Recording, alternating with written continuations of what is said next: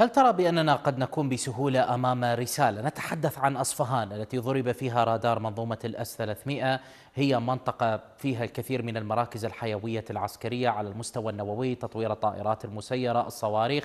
هل ترى بأنها قد تكون أيضا رسالة لإيران بأننا قادرون على استهداف أصفهان بشكل أكبر مهما قمت من عمليات تدريب ومناورات من أجل مواجهة أي هجوم إسرائيلي؟ وهل تعتقد بأن إيران ستنظر بهذه الرسالة لأن أصفهان تأتي إلى جنوب مفاعل نطنز وهذه النقطة توفر الحماية لمفاعل نطنز من الجنوب.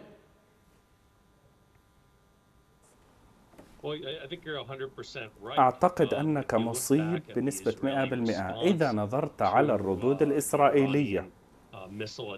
للهجمات الصاروخية الإيرانية في شهر أبريل كان رد الإسرائيليين بأن لا نقوم بالتصعيد ولكن أن ندمر مقابلها نظام دفاع جوي إس 300 وهذه الرسالة كانت واضحة جدا وفهمت بأنه لن تستطيع أنظمة الدفاع الصاروخية الإيرانية من أن تمنع إسرائيل من ضرب الأهداف الاستراتيجية الرئيسية. لذلك أعتقد أن سواء كان هذا استجابة أو أنه كان الإسرائيليون يهاجمون منشأة للدرونات في أصفهان أو في أي موقع آخر في أصفهان.